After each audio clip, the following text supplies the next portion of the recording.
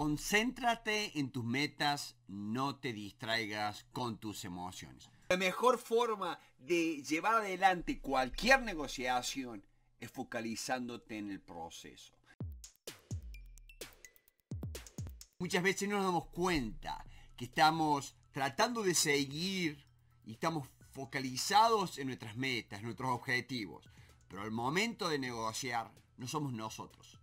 Nos perdemos, nos perdemos nuestras emociones. Estamos enojados y perdemos el control. Cuidado. Yo te quiero, quiero explicar esto para que, para que veas durante la negociación cuáles son las mejores formas de solucionar esto y cuál es la mejor forma de controlar. Es importante controlar tus emociones. ¿Por? Porque ellas pueden hacer que la, negociación te, se te vaya. Las emociones, como por ejemplo la ira, puede hacer que pierdas el control y que no te aprecien como deberían apreciarte. No necesitas arrebatar, no necesitas atacar a tu contraparte. Lo que hace falta en estos casos es quedarse, ¿no es cierto? Y decir a lo mejor a veces, mira, eso, eso no, no es aceptable. Este, tratemos de, focalizarnos en, lo que venimos a tratar de, de resolucionar. Esta es la primera sesión. Si no podemos, bueno, a lo mejor convenga más suspenderlo. Y una recomendación mía es, primero de todo, para toda esta negociación, prepárate. Prepárate con esta hoja que la puedes encontrar acá abajo, cierto? La hoja de, preparación son las 10 preguntas más importantes. Y cuando te estás preparando con alguien que vos sabes que, que te puede tocar esos botones de emociones, que puede tocar ese, que te puede hacer enojar, este, practicalo pedirle a alguien que te diga, pedirle a alguien que te diga, che, ¿y qué pasó con tal cosa? ¿Qué pasó? Para que para vos ves qué pasa en tu cuerpo, eh, fisiológicamente, ver qué pasa, ver cómo te sentís. Y respira hondo, respira hondo, respira hasta el estómago, respira dos o tres veces para pasar el aire y pasar esos momentos. Es lo mejor que podemos hacer en vez de estar interactuando y ponernos eh, este, a enojarnos con la contraparte, hacer no. Esas, esas emociones hay que canalizarlas. Nunca veamos a una negociación como un, un resultado en sí. la negociación tenés que verlo como un proceso. Entonces tenés que estar en el proceso.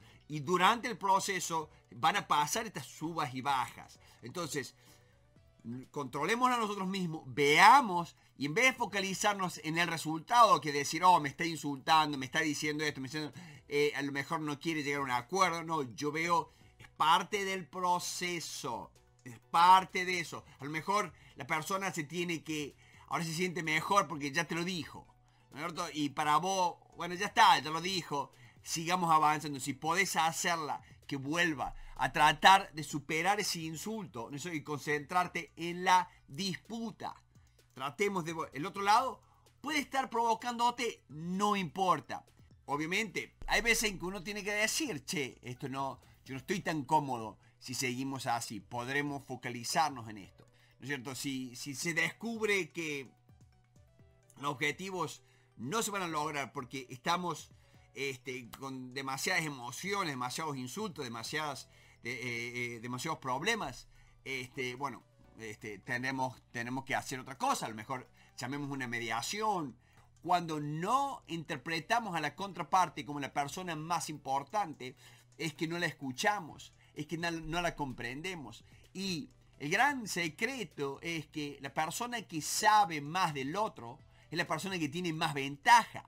Pero este, es insólito cuando vamos a la negociación nos sentimos como que estamos en la negociación, nos sentimos como que es el momento, es el momento, tengo que hablar, tengo que decir, tengo que ofenderlo, tengo que decirle esto, me pegó, yo también tengo que pegar, que no se crea que yo soy menos.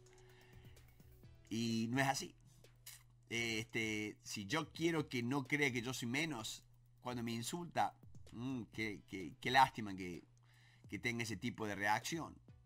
Este, bueno, yo no me voy a sumar a esto. Hay, otras cosas, mm, a lo mejor tenemos un descanso en esta sesión. O sea, hay otras cosas que van a ponerte más en la altura a la cual vos querés estar. ¿No? Y esa es la forma. No te olvides, nunca temas negociar. Estos son siete pasos. Los siete pasos, ¿por qué? Porque tenemos que seguir el proceso. Tenemos que estar más preocupados por el proceso y no por el resultado. Y el, proceso nos, nos va a ayudar a que el resultado nuestro sea mucho mejor. O por lo menos conozcamos todo, identifiquemos. Y una buena negociación, aunque no hayamos logrado lo que nosotros queremos, me sirve de educación para mi próxima negociación y para ir y lograr lo que yo quiero.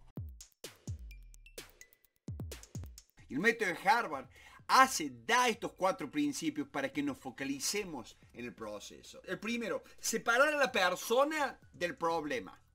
¿no? Y muchas veces es fácil decirlo. Es más fácil, es más difícil hacerlo. ¿Por qué? Porque ¿qué pasa cuando la otra persona es una persona que tiene un montón de emociones, una persona que va a descargar las emociones en vos. ¿Qué va a pasar ahí? Ahí te vas a sentir mal.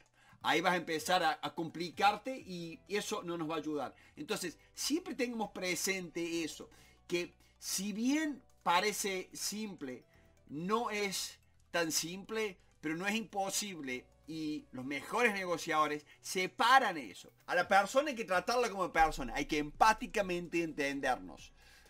La persona, negociamos con personas. Gana a la persona con la que estés negociando.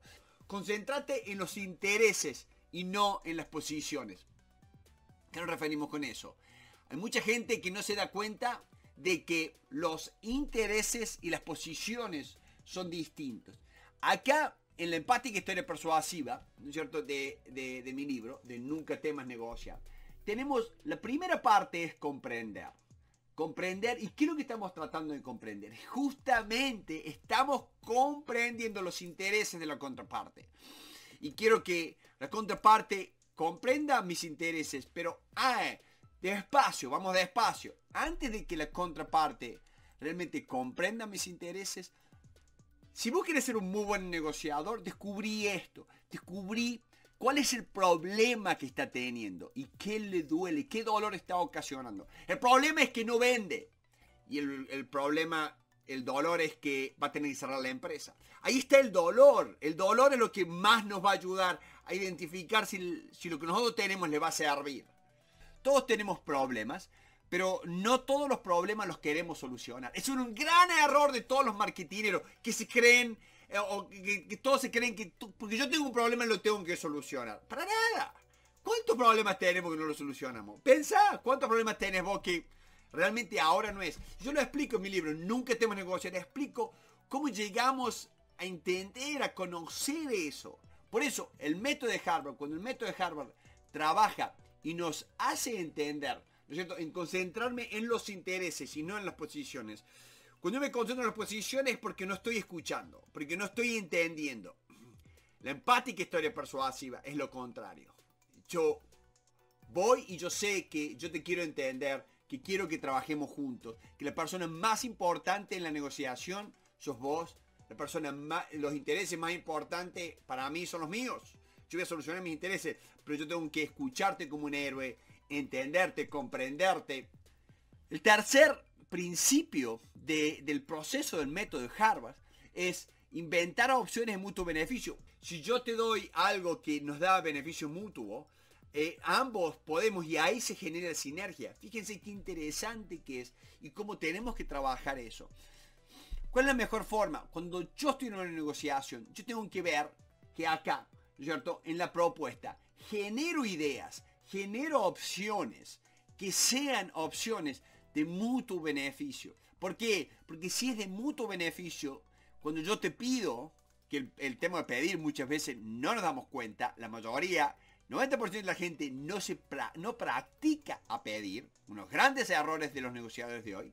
Entonces, la propuesta está en que si yo tengo, yo tengo esas, esas opciones de mutuo beneficio, cuando yo te doy, cuando yo te pido en la propuesta, es cuando mejor respuesta voy a tener. Voy a tener una mejor respuesta. ¿Por qué? Porque al planear eso, la, segunda etapa de la negociación, la planear, comprender, planear y cerrar. Son tres etapas. Comprender, planear y cerrar. La segunda etapa, donde estamos con las opciones. Las opciones son como el aceite del motor. Genera que las cosas lubricadas anden más, más rápido, se muevan. Entonces siempre focalizate, trata de que, de que lleguemos a eso, ¿no? Y el cuarto punto, el cuarto principio del método de Harvard es insistir en criterios objetivos. ¿Cuál es el problema? Que yo puedo tener una opción fantástica, que yo me la creo, pero si, si no es objetiva, yo digo, este auto vale 20 mil, 20 mil dólares. Este, no, este, este auto en este mercado este, vale 17 mil dólares. Mira, acá está. Ah, objetivos, ¿no es cierto? Criterios objetivos, criterios que ambos podamos decir, bueno, listo. Sí, eh, hay, una, hay, un, hay un censo, hay un lugar donde están los valores de los autos y este año, estas millas, esto me genera este precio. Algo que sea objetivo, algo que nos ayude. La municipalidad dice tal cosa. El gobierno dice que a tal a tal cosa se hace eso. O sea que algo que, sea objetivo, que nos ayude a que a focalizamos y a no discutir por discutir, a no este, regatear por regatear, a, tratar de avanzar en eso. Eso es importantísimo. Entonces, vos te das cuenta cómo estos cuatro principios del método de Harvard con la combinación de la empática historia persuasiva te van a ayudar muchísimo. En toda negociación buscamos sinergia. Te invito ya mismo, pasemos a ver otro video sobre esto, sobre nunca temas negociar. Quiero mostrarte y quiero ayudarte cómo teniendo un buen proceso de negociación como el método de Harvard, la empática historia persuasiva, te va a ayudar a mejorar todos tus acuerdos. Vamos ya a ver el video.